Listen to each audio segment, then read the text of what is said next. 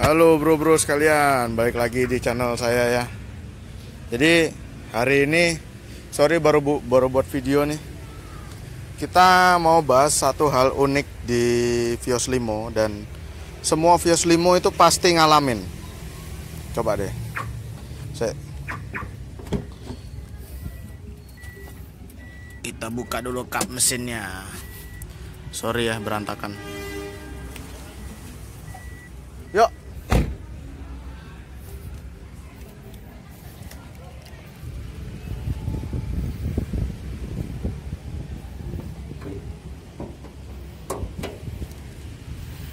Aduh. Sorenya aduh, buat tangan satu lagi. Bentar, bentar, sabar.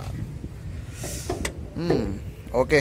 Jadi hal yang terjadi di Vios Limo itu kebanyakan adalah ini masalah kaki-kaki ya. Nih, coba deh teman-teman yang punya Vios Limo perhatikan ini. Di sini dia biasanya ada karet. Biasanya nih, Vios itu pasti ada karet di sini buat ngunci. Dan di Vios Limo saya itu nggak ada. Jadi karena itu buat lubang dia tuh duduk-duduk gitu. Karena ini besi ketemu besi. Jadi tumburan. Nah, ini saya akalin. Ngakalinnya gampang banget. Nggak usah pakai beli karetnya. Beli karetnya itu saya tanya kemarin sekitar 150 nah ini saya akarin pakai karet juga tapi karet ban. Saya puterin saya ikat. Nih biar ganjel nih karetnya nih. Sama ini dua-duanya juga sama kalau di Vios Ori dia ada karetnya tapi kalau untuk Vios Limo rata-rata udah nggak ada. Tuh. Jadi buat teman-teman yang pakai Vios Limo diperhatikan lagi itu karetnya ya. Jadi kalau misalkan bilang mas kaki-kaki Vios Limo kok kurang enak kurang apa? Bro kaki-kaki Vios Limo kok geruduk-geruduk. Nah salah satu kuncinya biar nggak geruduk-geruduk adalah itunya diganjel ganti karet. Dan kalau misalkan kita ganti karet ori Vios beda ori Vios nanti dimasukin ke sana pakai setahun setahun itu udah langsung ini kempes lagi Nah, itu sedikit ini ya bahasan dari saya. Oke teman-teman nih kita tes jalan ya yang tak bilang geruduk-geruduk gitu. Ini semua Vios Limo rata-rata mengalami hal seperti ini. Jadi nih ya saya coba lewat lintasan kereta. Ah, ah, Nah, itu yang jadi apa ya PR sebenarnya dan kemarin saya sama tukang PR saya kebetulan teman saya juga ada yang tukang PR ya jadi saya saya tanya-tanya dan memang penyakitnya Vios Limo di sana karetnya yang jadi permasalahan kalau misalkan mau seperti Vios Ori ya mesti diganti full set sama soknya. Sok karet juga ganti sama punyanya Vios. Itu. Nah ini ada posisi tidur lagi eh posisi tidur lagi.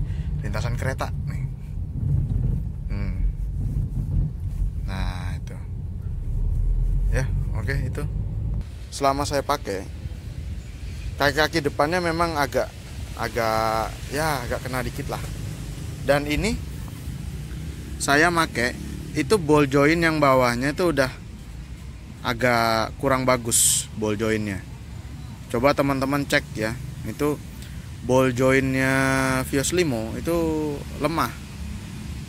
Lemah karena mobilnya udah sering dipakai ya jadi lemah.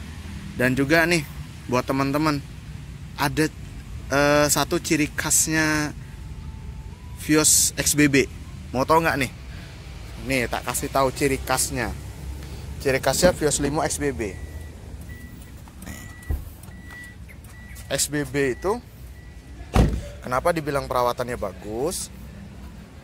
Karena dia juga mikirin ini. Duh, perantakan. Nih, tah. Kalau Vios Limo X lain itu nggak ada besi buat malang ini. Nih. Tapi kalau XBB ada besinya. Nah, itu pembedanya. Pembeda Vios Limo XBB sama X yang lain. Ya. Tutup lagi. Oke. Ya teman-teman mungkin itu aja video dari saya. Dan juga kemarin sensornya udah tak benerin ya. Jadi sekarang udah bunyi titit-titit lagi ya begitulah. Namanya Vios Limo ya. Dan juga klarifikasi juga buat teman-teman. Ada yang bilang kalau Vios Limo jelek Vios Limo apa. Ya bukan jelek. Vios Limo itu karena harganya menggiurkan. Namanya mobil bekas itu pasti ada apa ya namanya downtime nya lah. Downtime nya jadi kita mesti ganti part-part itu. Gitu aja sih. Kalau misalkan kemarin ada juga yang komen bro kok mobil lo masalah terus? Gitu. Ya memang bukan masalah bukan masalah tapi itu memang part-part yang mesti diganti karena usia pakai mobil ini bukan usia pakai jarak tempuhnya mobil ini itu udah panjang. Dan ini kita bisa lihat ya kilometernya tuh udah saya kemarin ngambil 240 sekarang udah 260 oke mungkin itu aja video dari saya thank you yang udah nonton dan terima kasih buat yang sudah like dan juga komen video saya.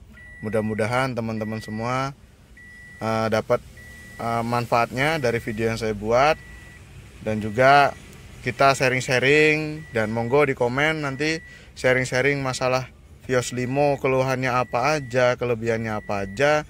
Kalau bisa nanti tak komen juga, tak balas komenannya. Oke. Mungkin itu aja video dari saya. Thank you dan Bye bye.